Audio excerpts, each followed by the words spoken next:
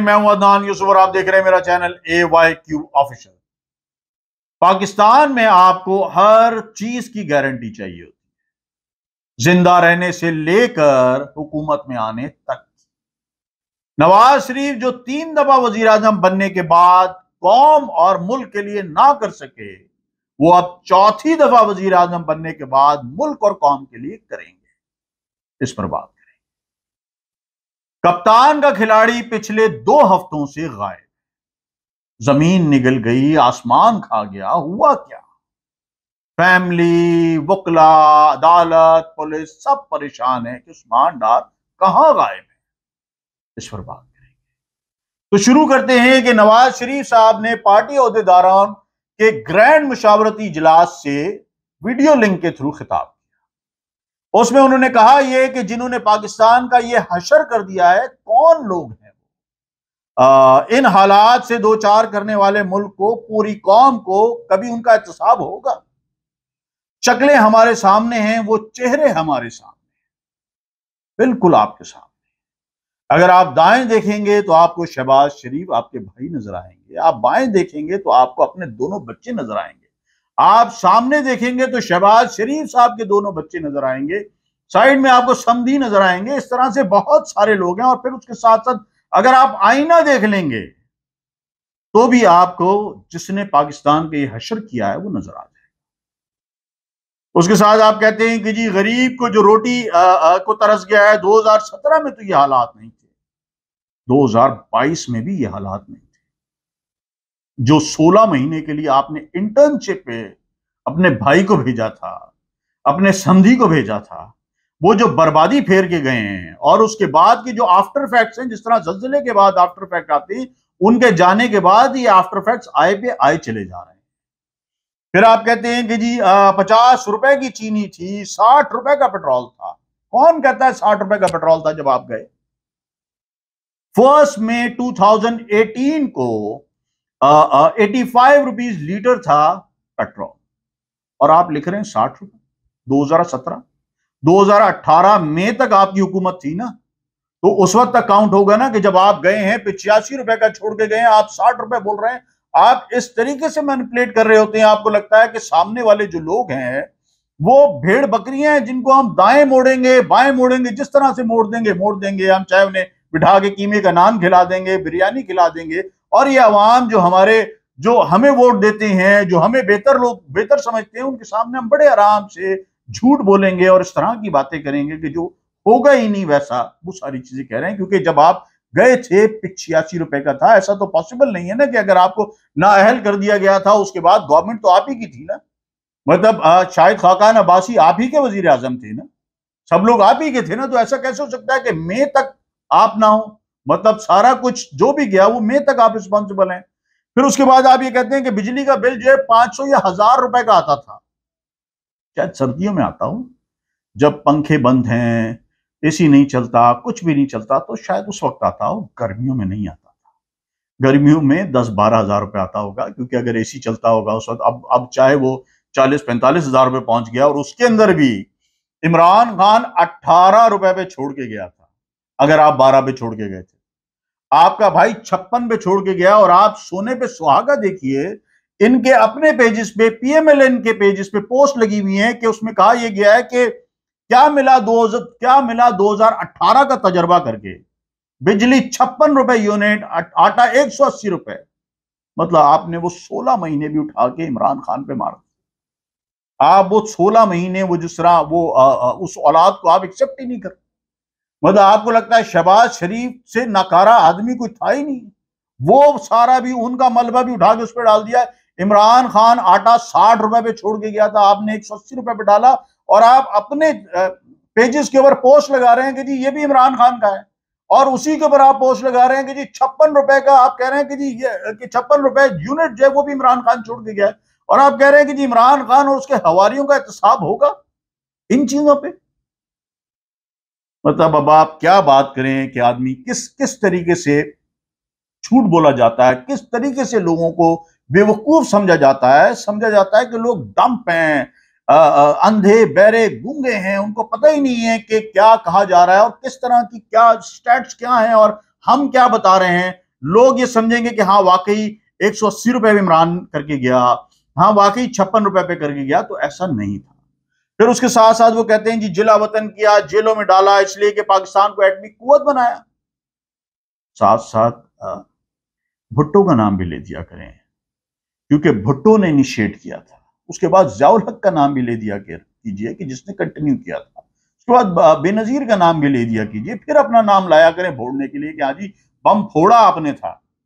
Test आपने किया था, बाकी ये सारे के सबका क्रेडिट है। क्रेडिट तो पूरा आप ले लेते हैं कि जैसे इनिशिएट भी आपने किया, बनवाया भी आपने और शायद बनाया भी खुद आप नहीं है। तो बहरहाल उसके साथ साथ आप कहते हैं कि जी, चार जजेस ने बैठकर करोड़ों लोगों के वज़ीर आज़म को हटा दिया, साकिब निसार और खोसा ने। फिर आप कहते हैं कि जी, कौन थे उनके पीछे? जनरल बाजवा और फैज? मतलब जनरल बाजवा साहब ने आपको दवाई लेने के लिए भेजा। जब झूठ बोला जा रहा था, जब ये कहा जा रहा था कि जी वो प्लेटलेट्स जो है वो बिल्कुल गिर गए हैं, बढ़ नहीं रहे और बड़े आराम से एयर एंबुलेंस में बैठे हुए अंगूर खाते हुए सुकून से जा रहे थे। और वहाँ जैसे ही उधर लैंड किए और लैंड करने के बाद वो कौन से प्लेटलेट्स कहाँ गए? इस कदर झूठ बोल के गए और फिर उसके बाद जिसने आपको भेजा, फिर उसके बाद आपके ख्वाजा आसिफ साहब कहते हैं कि जी एक साल बाद ही हुकूमत के हमें कहा गया कि जी आ जाइए, ले लीजिए फिर उसके एक साल के बाद कहा कि जी, पंजाब ले लें, शुरू के महीनों में, आखिर के महीनों में आपको हम पूरी हुकूमत दे देते हैं। फिर अभी कौन लेकर आया था आपको 2022 में, अप्रैल में? कोई। जो आपके सारे दुख दर्द जिसने दूर करवाए, जो आपकी नाअहली हटवाई, जो आपके मुकदमात में जहाँ जहाँ जिस जिस तरह के रिलीफ दिए जा सकते थे जो जो चीज़ें कानून बदलने के लिए बदले गए तो किसने यहाँ तक पहुँचाया? आपका मोहसिन है, आपके मोहसिन है। बाजवा साहब। तो बाजवा साहब का इज़्ज़त से नाम लिया कीजिए, क्योंकि आपके यहाँ तक पहुँचने में या अगर आप पाकिस्तान वापस आते हैं तो उसमें बहुत बड़ा हाथ उनका है। इसके बाद आपने कहा कि जी पीडीएम के लोग जो है डिफ़ॉल्ट से ना बचाते तो पेट्रोल शायद हज़ार रुपए का हो जाता। लेकर कौन गया था यहाँ तक? डिफ़ॉल्ट तक लेकर कौन गया? आप ही के तो लोग लेके गए। ये जो आप इंटर्नशिप पे भाई भेजा था आपने, वही लेकर गया। और ये जो आपका समधी था, ये लेकर गया। मतलब ये वहाँ पे आप जब हुकूमत ली थी, उस वक्त फाइव परसेंट भी चांसेस नहीं थे डिफ़ॉल्ट के। साल भर के अंदर अंदर जो है वो आप हंड्रेड परसेंट के करीब तरीन ले आए थे और फिर वहीं से आप लोगों ने बचाया मतलब लेके भी आप ही गए, बचा के भी आप ही लाए और कारनामा भी आप ही का। वाह। फिर उसके साथ आप बात करते हैं कि जी जिन्होंने जो भी जिन्होंने यहाँ तक पहुँचाया, वो काबिल माफ़ी नहीं है। बिल्कुल भी नहीं। माफ़ ना कीजिएगा इन्हें। अपने दाएँ बाएँ लोगों को और आईने में जो नज़र आए उसको माफ़ ना कीजिएगा ताकि पाकिस्तानी अवाम के साथ जो कुछ किया गया है, वो भुगत रहे हैं और वो भुगतते रहेंगे।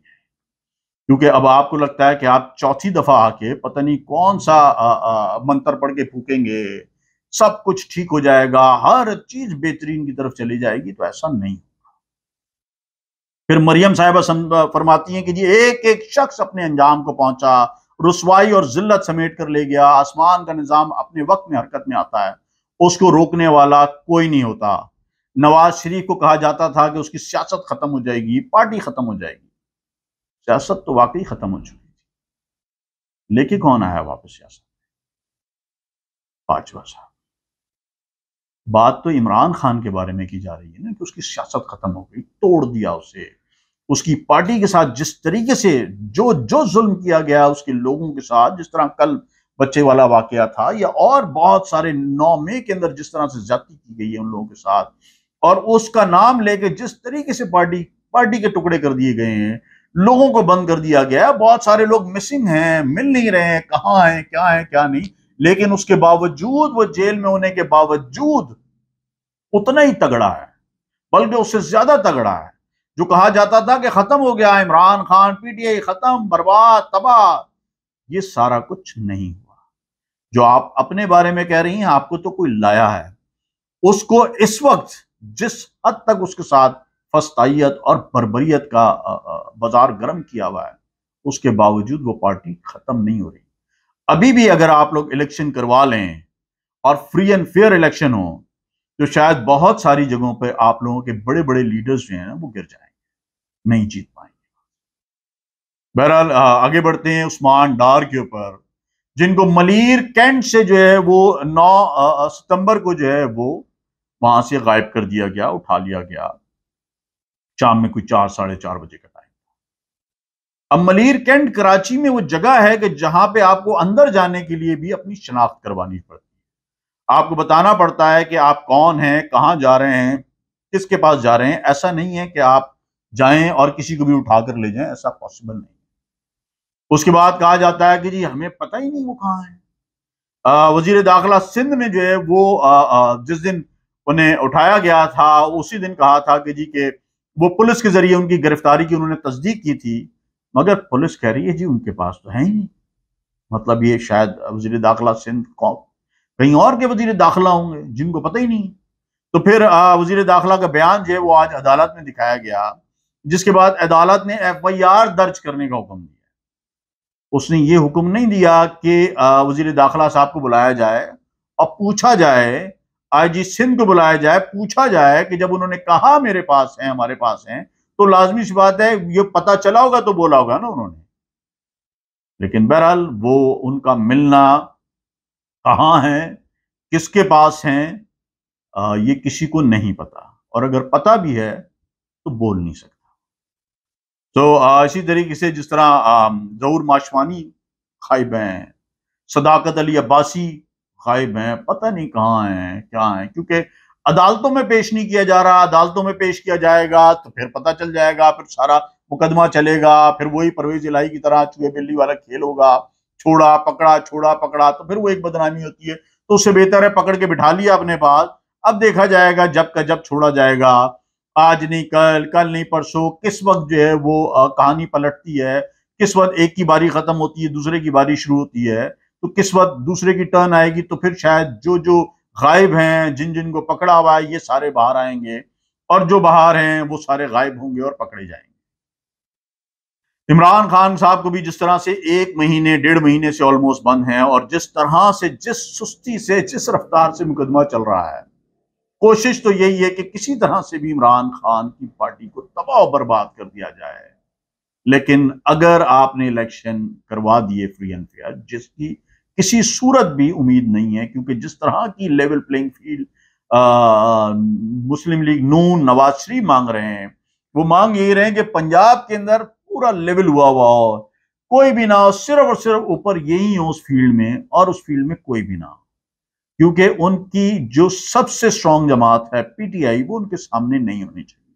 वो होगी तो उनके लिए अपना मुस्तकबिल जो है वो खराब हो जाएगा। जो ये कह रही ना, रसवाई, जिल्लत, ये सारी चीज़ें जो है ना, वो समेटेंगे। बात यह कि कोई भी आए, अगर नून लीग आए, पीपल्स पार्टी आए पीटीआई आए, जो भी आए, आवाम के लिए उस वक्त फ़ायदेमंद है जब वो मेजोरिटी में और वो मेजोरिटी में नहीं आ पाए आने नहीं दिया जाए तो मेजोरिटी में कोई भी नहीं आएगा, फिर वही टूटी टूटी गवर्नमेंट होगी, इधर से टांग खींची जाएगी, उधर से कान पकड़े जाएँगे, उधर से हाथ दबाया जाएगा तो इसी तरह की चीज़ें करते करते समझ नहीं आ रहा कब जाके, कैसे जाके, किस तरह से ये चीज़ें बेहतर हों। शायद आँख का तारा शहबाज शरीफ जो है, वो कोई गुर दिखाएँ जिसके साथ जिस तरह से वो लुटेरों के साथ खुद भी लूटते रहे और अपने साथ बाकी लुटेरे मिला के भी जो है वो हुकूमत कर गए तो शायद इस दफ़ा फिर हुकूमत कर जाए। अपना ख्याल रखिएगा। अल्लाह ने के बाद।